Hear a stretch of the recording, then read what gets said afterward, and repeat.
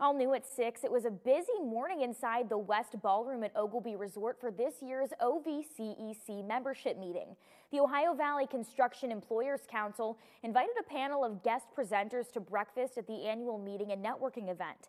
The council provided updates on topics that included a preview of a virtual event about the wellness in the workplace that's happening in March, plus the latest details about emerging technologies, as well as exciting opportunities with the hydrogen hub that's coming to our area.